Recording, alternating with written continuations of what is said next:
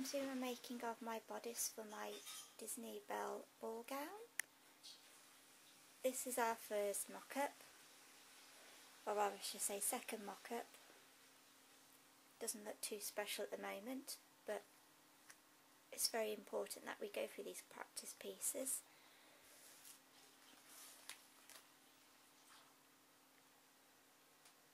to achieve what I wanted personally this is my choice I went back to this pattern which I've used before and I've just used it recently for the Ariel blue corset dress. And it was New Look 6480 and I just took the front panel off this and the two sides which came with it which is this piece, this piece, this piece and this piece. So I just took the panels for the front because I wanted a slightly different shape back. And for that I mushed two patterns together and I used this Christine Daae dress pattern which was 4479 and I took the back sections of this particular dress because I quite like that effect. And so this panel, side back and back were taken off this Christine Daae pattern and after two mock-ups of attaching the pattern pieces from the Christine Daae pattern to the pattern pieces of the New Look pattern we had to sort of adjust it so these lines would meet and I wanted a slightly slightly steeper curve on the back seam so I just curved that over a bit more.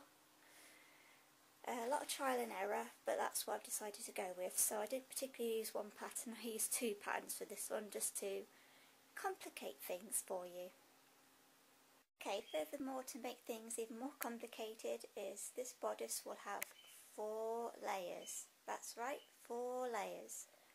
First of all, I've only laid four pieces out of each section so obviously you need eight pieces altogether because the sections I've got will only make half a bodice from front to back. Basically I've got a yellow cotton for my lining, it's a, a silky cotton but you can use whatever you want. I've got my corset coutil which will be next layer. I then have a silk dupion fabric that has that slub going through it. So this is quite a nice one. I have seen ones that look not quite as nice as this with the slub that runs through on the grain line. Some of them don't really look that nice but this is a particularly nice one and it was lemon yellow. And on the uh, very outside I bought this gold lace off eBay Unfortunately I've not ever seen this particular coloured lace again for sale so I can't really point out where to buy any more from. But basically anyway that's my four layers. First of all though I'm going to take my lace because this is going to be right on the outside of my bodice and I'm going to decorate it with some Swarovski crystals which is just my personal choice. You don't have to decorate yours, but I thought, well, Belle, being Belle, I think she should have a bit more sparkle. And I do like my Swarovski crystals. Hey, it's Swarovski crystal time! My favourite part.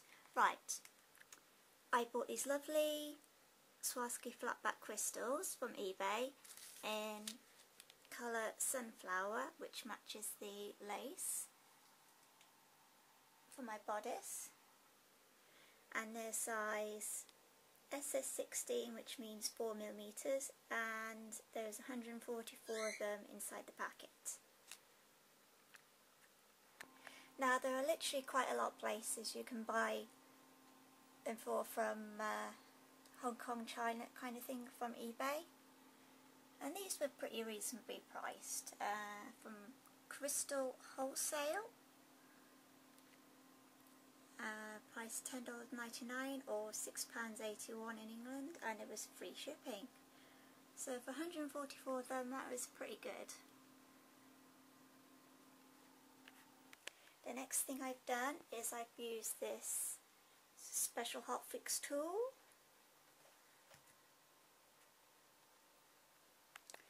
Now there's quite a lot of different ones you can get, but mine's called uh, Candice Professional Touch Rhinestone Applicator.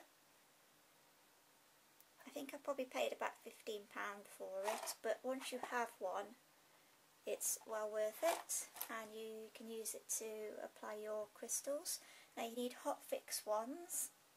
Uh, you can get non-hot fix ones which means you just glue them on yourself with fabric glue but this method is a lot easier you buy the Hotfix crystals and as you can see they're all twinkling in the light. This is, again is just my personal choice because I just love to make things sparkly.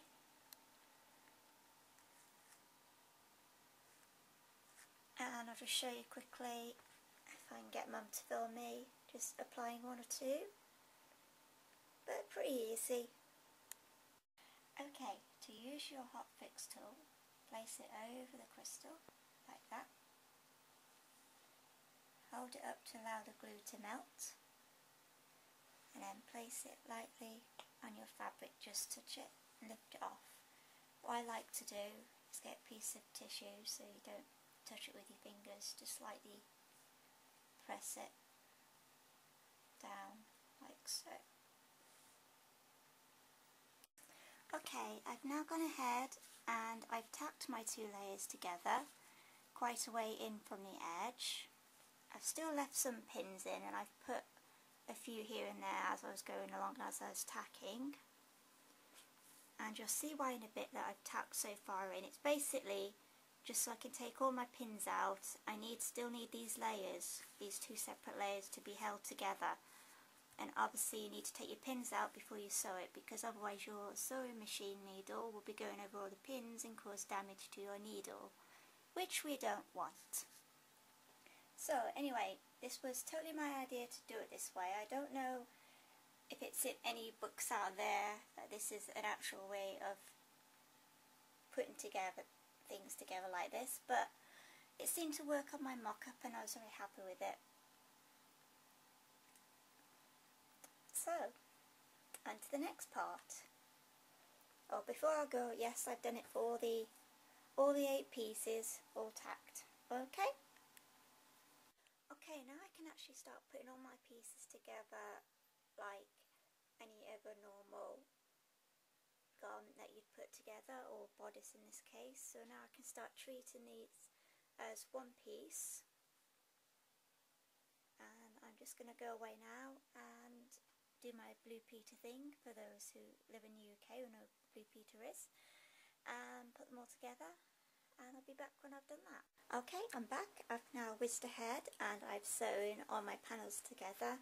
Now you will see why I was saying earlier in the tutorial when I was tacking the two layers together why it's important to tack your two layers right way in because you don't want them too close to where your sewing line was because you want to be able to take it all out easily after.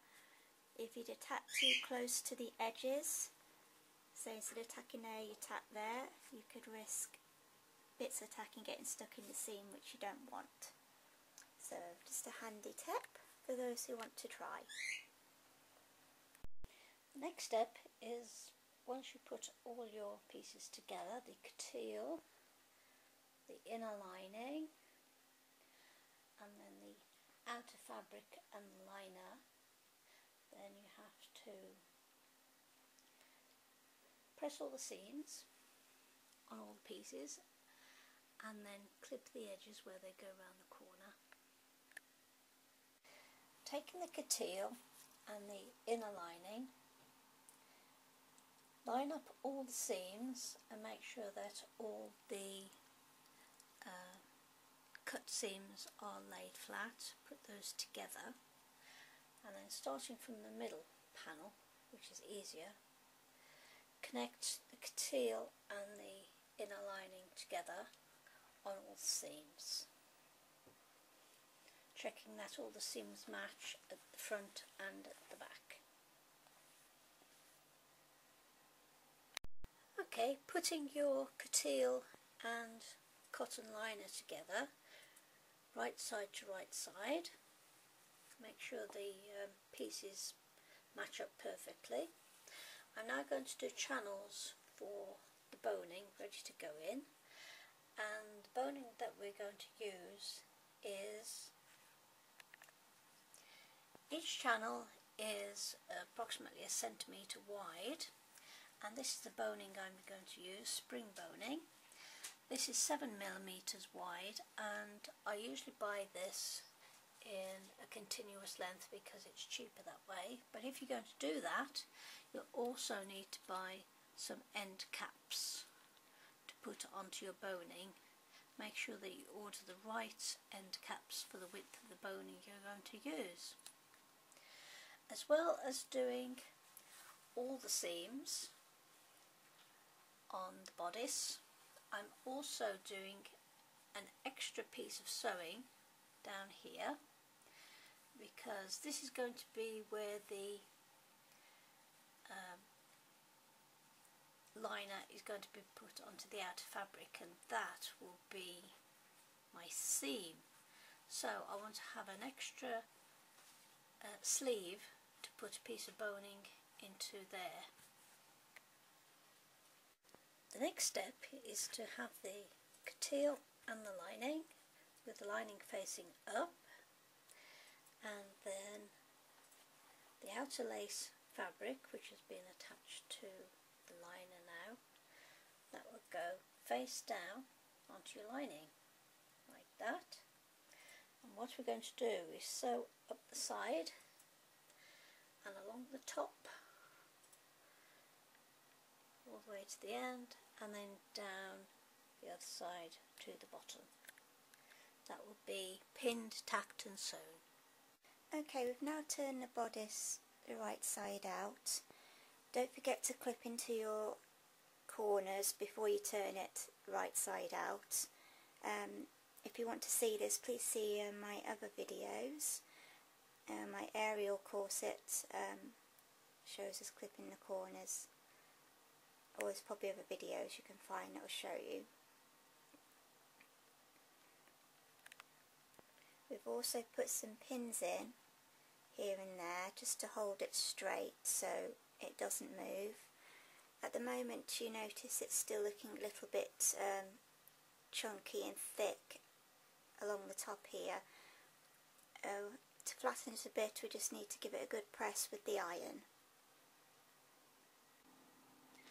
The next stage is putting the boning in and we find that this particular website uh, is very good and we've used them a few times to get our boning.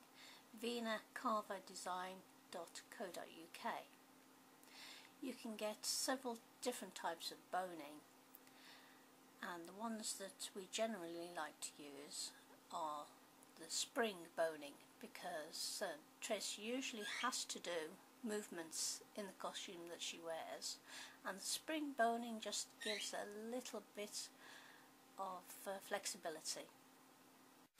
You can buy the boning ready-made to the length that you want and they will put the end caps on for you as you can see on the screen right now but because we buy the boning by the metre because we use a lot of it. We just cut it to the length that we need and then we have to put our own end caps on which I shall show you how to do a little bit later. But this is how we will take the measurement to get the right size boning. Okay we're going to do one for the back seam and I'm going to measure from a centimetre from the top and then where I want the corset to finish I'm going to take it from a centimetre just before the pin. That will be my final measurement. What I've done here with my pins is that it's already been put on and I've marked out with pins where the bottom of the bodice is going to be. We're going to have a sharp front going up to the waist and then a slow curve going to the back seam and then you have to measure each seam leaving an a centimetre at the top and a centimetre at the bottom before you get to that pin.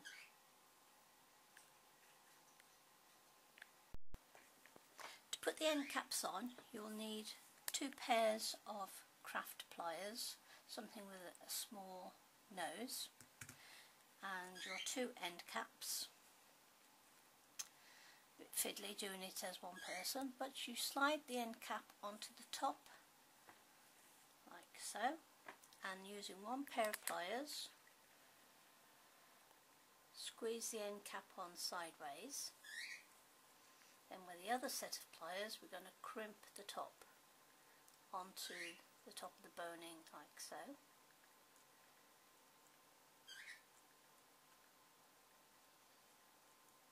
make sure it's really put on tight now sometimes it's not quite tight enough.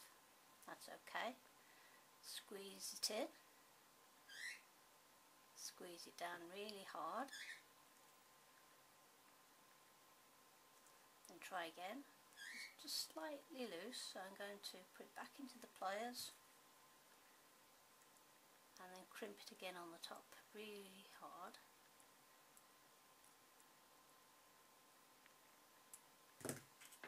Like so, and now the end cap is quite solid and not moving You have to do that to both ends on all your pieces. When, I, when you have all your boning pieces ready, lay them out in the order that they're going to be used, starting with the end one. This will then be threaded in the channel that you've made between the outer lining and the coutil thread every one in and push it up as far as you can to start with because we want it out of the way for when we do the sewing up of the corset at the bottom. Okay, all the boning now is in place and I've pushed it up as far as I can for now to get it out of the way because I'm going to run a sewing line now across the bottom where I've put the pins. Having sewn through all of our layers now, following the pin, the pins, we're now going to pin, tack and sew the piping onto the bottom, leave a bit of an overlap at the end, and then using the sewing line as a guide, pin your piping along the sewing line.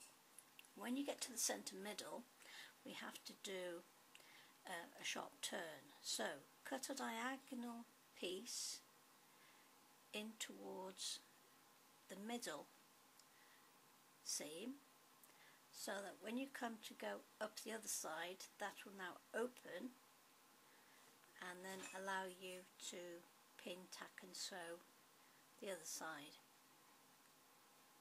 Okay, this is showing the piping that's now being sewn onto the bottom of my bodice. like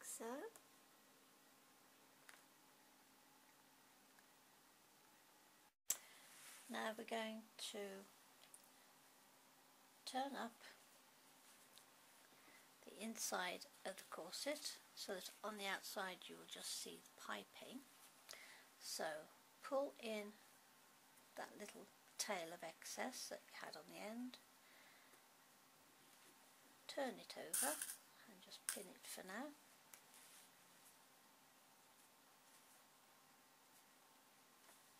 So I'm going to do that all the way along until it looks like that. Yep. Okay I've now pinned as far as uh, the V at the bottom. And what I've done is I've undone the sewing on all the layers so that I can actually turn that over. What I'm going to do now is just cut off that little bit of excess material there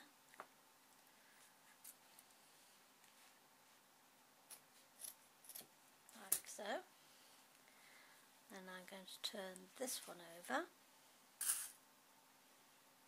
Just pin it down. And I'm going to cut off that excess material.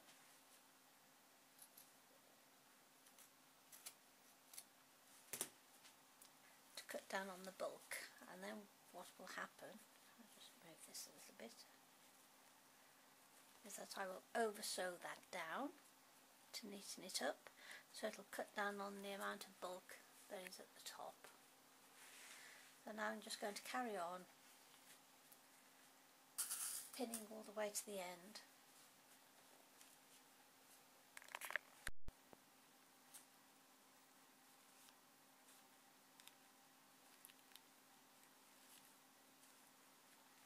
Like so. And then what needs to be done is a catch stitch just to catch this material onto your inner liner to keep it out of the way. I've now catch stitched the underneath in place. So now this is all anchored down the way along. This is what it should look like on the other side.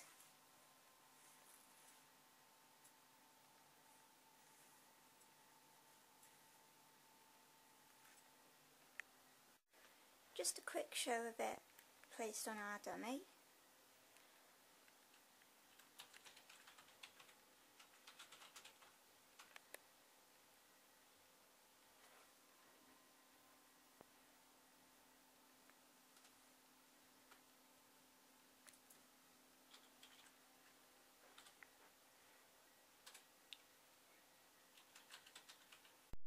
Okay, next I'm going to want to put my eyelets in for my back opening. That's what I've decided to do. And to do that we've had to mark where we want them to go. Okay, so basically, I don't know if you can see it, we've just got some chalk and marked where we want them and you've got to make sure that they're equal, same either side, so that dot must match that one at the same distance for your openings and do that all the way down to the bottom.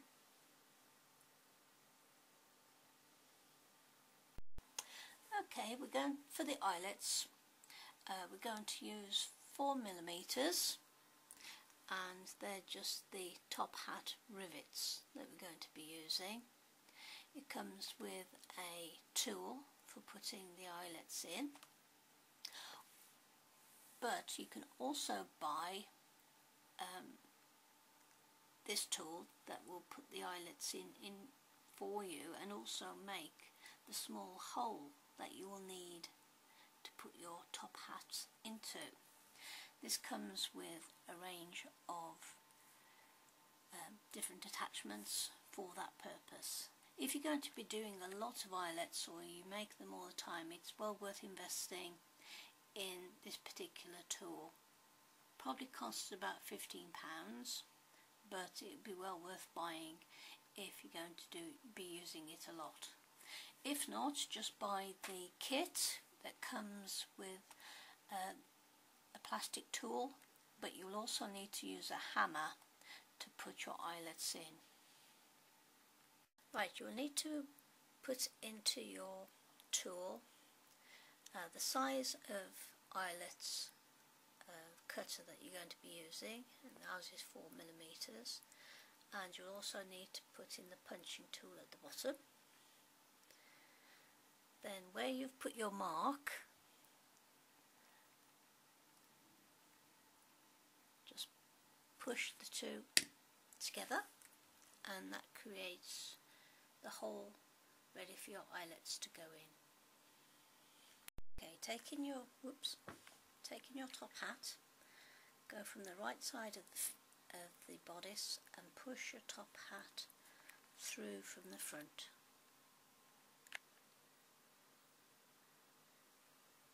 Right, next you have to change your tool. You put the plastic um, accessory in the bottom and the metal one in the top and now we're going to push the rivet together So place it over your rivet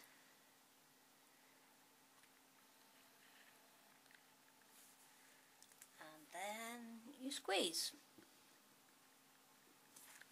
and that forces the rivet to close over the top and that's what it looks like on the right side.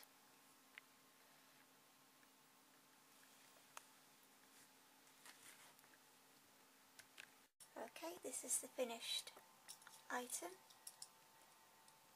Next thing to do is to get some cord and lace it up and fit it.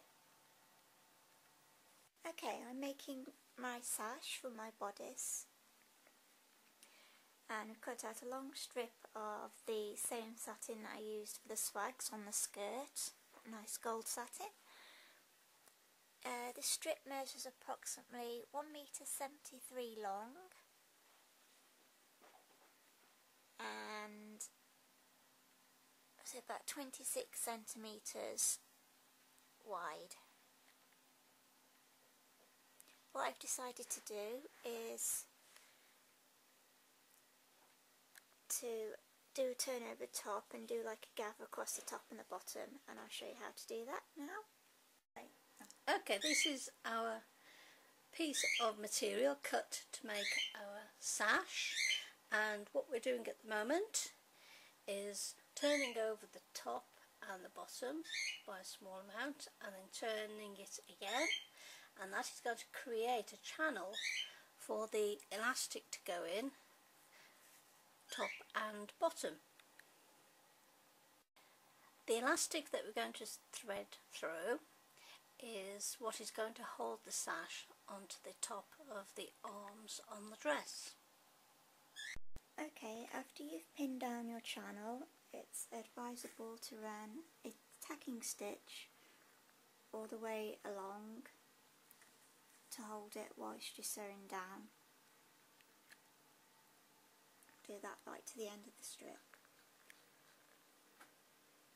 Okay, this is a quick mock-up on some scrap, but what I'm trying to achieve on my swag is something that looks like this and on the back basically I just take a bit of fabric and pinch it and I'll be sewing along there eventually I'm hoping for sort of that sort of effect as it goes along. We'll try and explain how we'll do that now. Okay next we're going to measure the width again. Now we've turned the edges of our fabric over.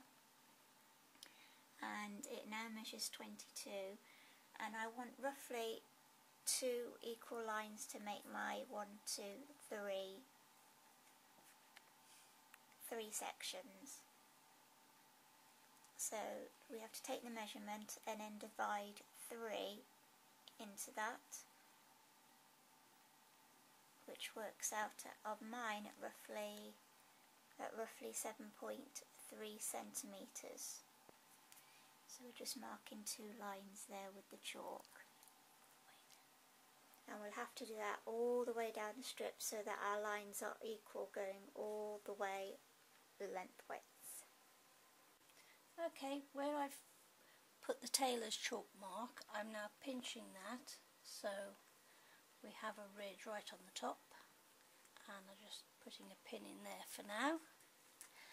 And I'm going to do that all the way down following the mark. And also on this one tailor's chalk is on the top edge. So I just put some pins in to mark that so it doesn't move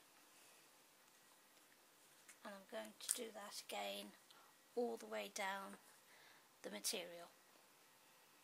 Okay, I've now machine sewed across the top and the bottom.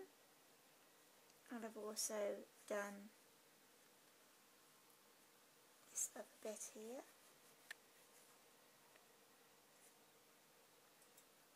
Along there and the other bit as well so now it looks like this on the other side next thing I'm going to do is get my elastic put a safety pin at the end of it and start threading it through my channels at the top and bottom.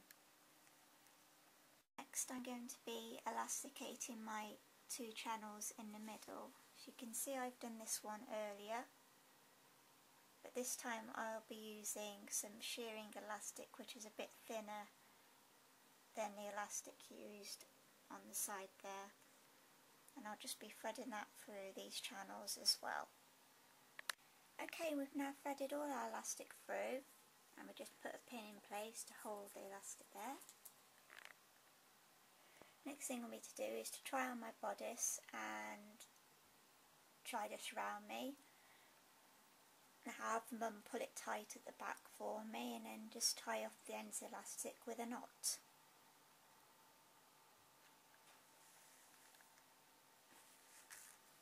This is pretty much what it looks like. It's turned out a little bit differently to what I had in mind, but I think that looks extremely nice.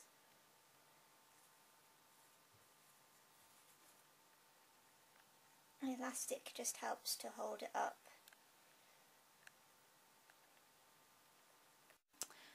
Okay, pull through the elastic as uh, tight as you need it to be. Try it onto your shoulders first. Make sure it's not too tight or too loose.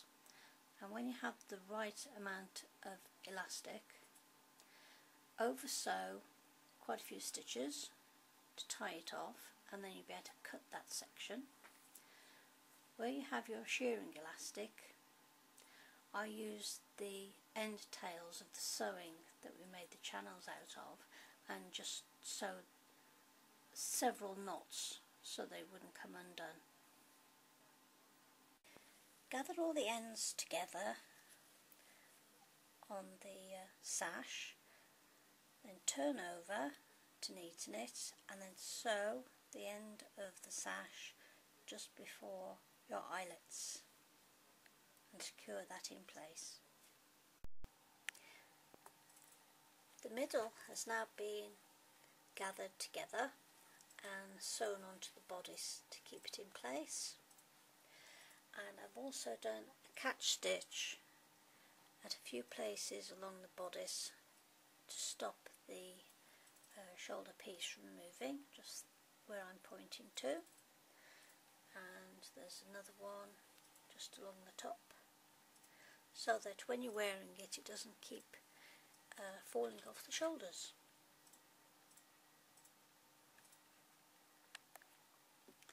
We found this um, gold hairpiece at, in an accessory shop. I think you might be able to get one from Claire's or a similar sort of shop.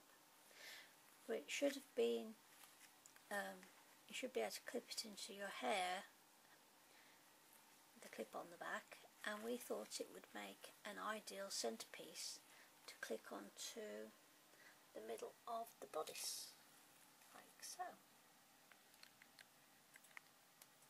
Okay, this is now the completed bodice. Not only have I got the flower on the front,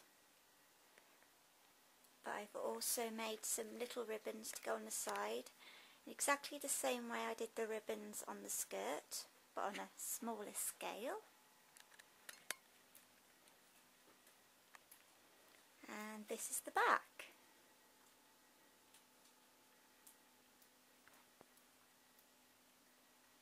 And we just lace it up with the cord and we pop the cord in the top.